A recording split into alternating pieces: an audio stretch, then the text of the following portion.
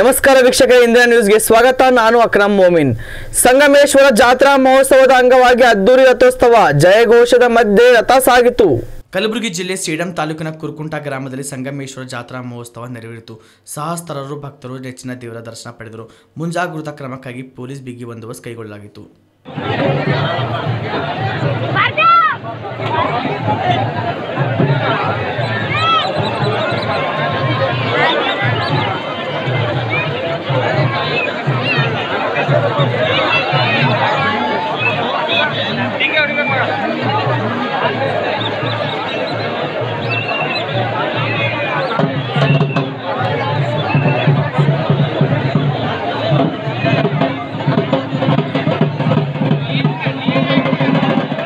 BJP ಹಾಗೂ ಮೋದಿ ಪರ ಸಾಮಾಜಿಕ ಜಾಲತಾಣದಲ್ಲಿ ಪ್ರಚಾರ ಮಾಡಿದ ಪತ್ರಕರ್ತ ಮಹೇಶ್ ಹೆಗಡೆ ಅವರ ಬಂಧನವನ್ನು ಬಿಜೆಪಿ ಖಂಡಿಸುತ್ತದೆ. ಈ ಕೂಡಲೇ ಅವರನ್ನು ಬಿಡುಗಡೆ ಮಾಡಬೇಕು. ಈ ರೀತಿ ಸೇಡಿನ ರಾಜಕಾರಣ ಮಾಡುವುದು ಸರಿಯಲ್ಲ ಎಂದು ಬಿಜೆಪಿ ರಾಜ್ಯ ಪ್ರಧಾನ ಕಾರ್ಯದರ್ಶಿ ಅರವಿಂದ್ ಲಿಂಬಾವಳಿ ಹೇಳಿದ್ದಾರೆ.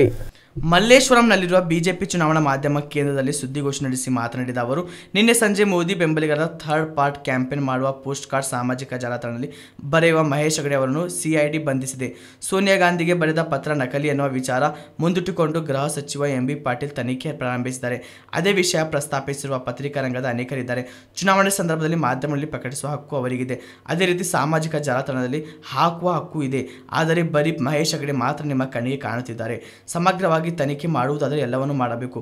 ಅನಗತ್ಯವಾಗಿ ಎಂ ಬಿ ಪಾಟೀಲ್ ವಿಷಯ ಪ್ರಸ್ತಾಪ ಮಾಡಿದ್ದಕ್ಕೆ ಈ ರೀತಿ ಮಾಡಲಾಗುತ್ತಿದೆ. ಇದಕ್ಕೆ ಮುಖ್ಯಮಂತ್ರಿಗಳು, ಗೃಹ ಸಚಿವರು ಯಾರೂ ನಿರ್ದೇಶನ ನೀಡಿದರೆ ಕೂಡಲೇ ಮಹೇಶ್ ಹೆಗಡೆ ಅವರನ್ನು ಬಿಡುಗಡೆ ಮಾಡಬೇಕು. ಇಲ್ಲದೇ ಇದ್ದಲ್ಲಿ ಬಿಜೆಪಿ ಬೀದಿಗಿಳಿಯಲಿದೆ ಎಂದು ಎಚ್ಚರಿಕೆ ನೀಡಿದರು.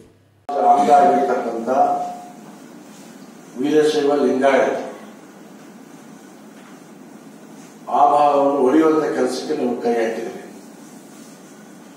ನಿಮ್ಮ ಪಕ್ಷದ ಹಿರಿಯ ನಾಯಕರಾಗಿರ್ತಕ್ಕಂಥ ಡಿ ಕೆ ಶಿವಕುಮಾರ್ ಅವರು ಬಳ್ಳಾರಿ ಉಪಚುನಾವಣೆ ಸಂದರ್ಭದಲ್ಲಿ ಕ್ಷಮೆಯನ್ನು ಯಾಚಿಸಿದ್ರು. ನಮ್ಮ ಕಡೆಯಿಂದ ತಪ್ಪಾಗಿದೆ. ಈ ಕೆಲಸಕ್ಕೆ ನಾವು ಕೈ ಹಾಕಬಾರದು ಅನ್ನುವಂಥ ಮಾತುಗಳನ್ನು ಹೇಳಿದ್ರು. ಹಾಗೆಯೇ ಈ ಚುನಾವಣೆಯಲ್ಲಿ, ವಿಧಾನಸಭೆ ಚುನಾವಣೆಯಲ್ಲಿ, ಉತ್ತರ ಕರ್ನಾಟಕದಲ್ಲಿ ಕಾಂಗ್ರೆಸ್ಗೆ ಹಿನ್ನಡೆ ಆಗೋದಕ್ಕೆ ಅದೂ ಒಂದು ಪ್ರಮುಖ ಕಾರಣ ಆಯಿತು. ಅದಾದ್ಮೇಲೆ ಈಗ ಲೋಕಸಭೆ ಚುನಾವಣೆಯಲ್ಲಿ ಪರಸ್ಪರ ವಿನಯ್ ಕುಲಕರ್ಣಿ ಅವರು ಮತ್ತು ಡಿ ಕೆ ಶಿವಕುಮಾರ್ ಅವರ ಹೇಳಿಕೆಗಳನ್ನು ಕೂಡ ಭಾರತೀಯ ಜನತಾ ಪಕ್ಷ ಅಥವಾ ಕರ್ನಾಟಕದ ಜನ ಗಮನಿಸಿದ್ದಾರೆ. ಎಂ ಬಿ ಅವರೇ ನಿಮ್ಮ ನಿಲುವಿನಲ್ಲಿ ಏನಾದರೂ ಬದಲಾವಣೆ ಆಗಿದೆಯಾ? ನೀವು ಆ ನಿಲುವನ್ನ ಬದಲಾಯಿಸಿಕೊಂಡಿದ್ರೆ ಅದನ್ನ ಸ್ಪಷ್ಟೀಕರಣ ಕೊಡಿ.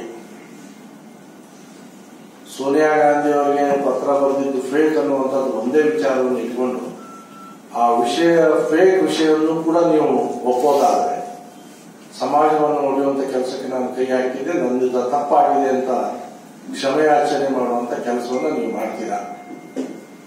ಅನಗತ್ಯವಾಗಿ ಕಿರುಕುಳವನ್ನು ಕೊಡುವಂತ ಕೆಲಸವನ್ನು ಈ ಸರ್ಕಾರ ಅಸ್ತಿತ್ವದಲ್ಲೇ ಇರಲಿಲ್ಲ. ಈ ಚುನಾವಣೆ ಸಮಯದಲ್ಲಿ ಸರ್ಕಾರ ನಡೆಸಬಾರದು ಅಂತ ಇದೆಯಾ?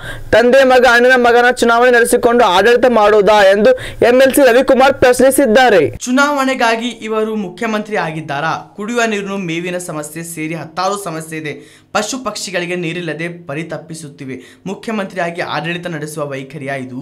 ಮುಖ್ಯಮಂತ್ರಿಯಾಗಿ ಕುಮಾರಸ್ವಾಮಿಗೆ ಕಾಮನ್ ಸೆನ್ಸ್ ಇಲ್ಲ.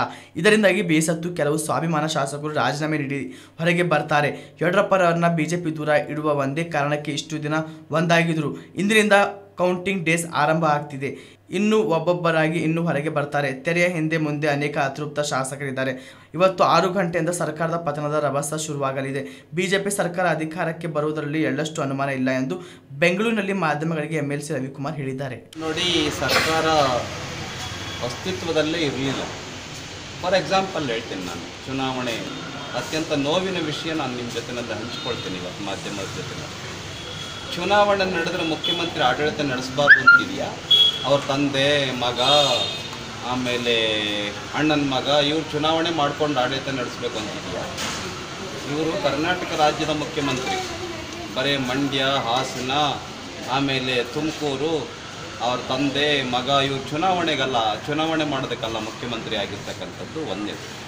ಎರಡನೇದು, ಕರ್ನಾಟಕ ರಾಜ್ಯದಲ್ಲಿ ಕುಡಿಯೋ ನೀರಿನ ಸಮಸ್ಯೆ ಇದೆ. ಬರಗಾಲದಲ್ಲಿ ತೊಳಲಾಡ್ತಾ ಇದೆ ಇಡೀ ರಾಜ್ಯದ ರೈತರು. ಆಮೇಲೆ ಮಹಿಳೆಯರು, ಯುವಕರು, ಉದ್ಯೋಗ ಇಲ್ಲದೇ ಪರಿತಪಿಸ್ತಾ ಇದ್ದಾರೆ. ಅನೇಕ ಸಮಸ್ಯೆಗಳಿದ್ದಾವೆ ಪಶು ಪಕ್ಷಿಗಳ ನೀರಿಲ್ದೇ ಸಾಯ್ತಾ ಇದ್ದಾವೆ. ಕಾಡಿಗೆ ಬೆಂಕಿ ಹತ್ಕೊಂಡಿತ್ತು. ಈ ಥರ ಹತ್ತಾರು ಸಮಸ್ಯೆಗಳಿದ್ದಾವೆ ಇದ್ರ ಬಗ್ಗೆ ಒಂದು ಗಂಟೆ ಸಮಯ ಇಲ್ವಾ ಒಂದು ದಿನಕ್ಕೆ?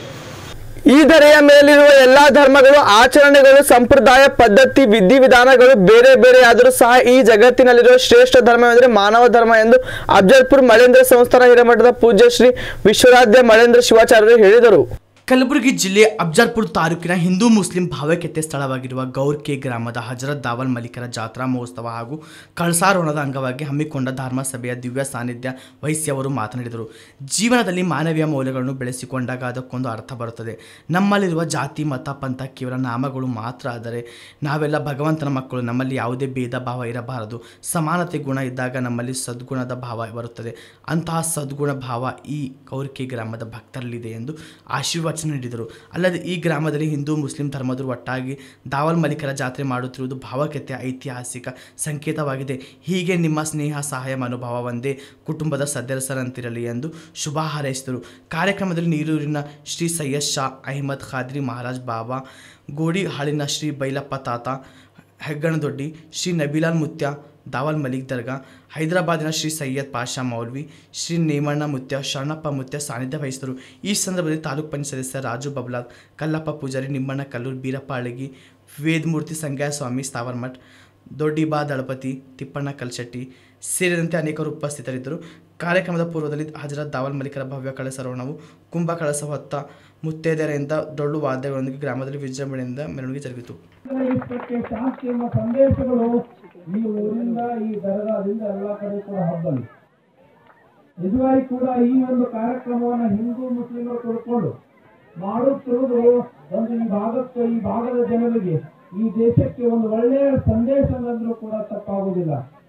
ಮಾಡಿ ಮಾಡಿ ಕಟ್ಟರೂ ಮನವಿಲ್ಲದೆ. ನೀಡಿ ನೀಡಿ ಕಟ್ಟರೋ ನಿಜವಿಲ್ಲದೆ, ಮಾಡುವ ನೀಡುವ ನಿಜಗಳ ಉಳ್ಳಡೆ ಕೂಡಿಕೊಂಡಿರುವ ಕೂಡಲ ಸಂಗಮದೇವೆನ್ನುವ ಹಾಗೆ ನಿಜವಾಗಿ ಕೂಡ ಈ ಗೌರಕ್ಕೆ ಗ್ರಾಮದವರು ಹ್ಯಾಂಗಿದ್ದೀರಿ ಅಂತಂದ್ರೆ, ಮಾಡುವುದು ಮತ್ತು ನೀಡುವುದು ಕೂಡ ಎಲ್ಲೆಲ್ಲ ಕಾಣಬರ್ತದೆ ಈ ಗೌರಕ್ಕೆ ಗ್ರಾಮಗಳು ಯಾವತ್ತೂ ಕೂಡ ಕಾಣಬರ್ತದೆ ತನ್ನ ಈ ಸಂದರ್ಭದಲ್ಲಿ ತಿಳಿಸಿ, ನಿಜವಾಗಿ ಕೂಡ ಒಂದು ಮಾತನ್ನ ನಾನು ಹೇಳ್ತಾ ಇದ್ದೀನಿ.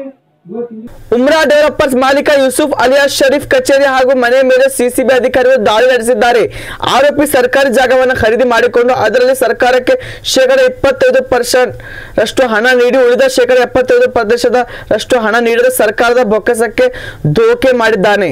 ಇಂದ್ರಪ್ರಸ್ತ್ ಶೆಲ್ಟರ್ ಪ್ರೈವೇಟ್ ಕಂಪನಿಗೆ ಅಭಿವೃದ್ಧಿ ಹೆಸರಲ್ಲಿ ಡೀಲ್ ಮಾಡಿ ಆ ಕಂಪನಿಗೆ ಚೆಕ್ಗಳ ಮೂಲಕ ಏಳು ಕೋಟಿ ಹಣ ನೀಡಿದ ಬಳಿಕ ಕಂಪನಿ ಜೊತೆ ಎಂ ಒ ಯು ಮಾಡಿಸಿ ಒಪ್ಪಂದ ಮಾಡಿಕೊಂಡಿದ್ದನ್ನು ಮರೆಮಾಚಿ ಅದೇ ಜಾಗವನ್ನು ನಾಗರಾಜ್ ಅವರಿಗೆ ನೀಡಿದ್ದ ಮಹಾದೇವಪುರದ ನೋಂದಣಿಕಾರಿ ಕಚೇರಿಯಲ್ಲಿ ಮಾರ್ಟ್ ಗೇಜ್ ಮಾಡಿ ನಾಗರಾಜ್ನಿಂದ ಮೂರು ಕೋಟಿ ಹಣವನ್ನು ಮುಂಗಡವಾಗಿ ಮಾಡಿಕೊಂಡಿದ್ದ. ಬಳಿಕ ಏಳು ಕೋಟಿ ಹಣ ತೆಗೆದುಕೊಂಡು ಕಂಪನಿಗೆ ಮೋಸ ಮಾಡಿದನಂತೆ. ಈ ಸಂಬಂಧ ಅಶೋಕ್ ನಗರ್ ಪೊಲೀಸ್ ಠಾಣೆಯಲ್ಲಿ ಪ್ರಕರಣ ದಾಖಲಾಗಿತ್ತು. ಪ್ರಕರಣದ ಗಂಭೀರತೆ ಅರಿತ ಪೊಲೀಸ್ ಆಯುಕ್ತರು ಪ್ರಕರಣವನ್ನು ಸಿಸಿಬಿಐಗೆ ವರ್ಗಾಯಿಸಿದರು. ಸದ್ಯ ನ್ಯಾಯಾಲಯದ ಅನುಮತಿ ಪಡೆದ ಸಿಸಿಬಿ ಅಧಿಕಾರಿಗಳು ಪ್ರಕರಣದ ತನಿಖೆ ನಡೆಸಿ ಯೂಸುಫ್ ಮನೆ ಹಾಗೂ ಕಚೇರಿ ಮೇಲೆ ದಾಳಿ ನಡೆಸಿದ್ದಾರೆ. ಈ ವೇಳೆ ಸರ್ಕಾರದ ಕೆಲ ದಾಖಲಾತಿಗಳನ್ನು ವಶಪಡಿಸಿಕೊಂಡಿದ್ದು ಆರೋಪಿ ಯೂಸುಫ್ನನ್ನು ಬಂಧಿಸಿದ್ದಾರೆ.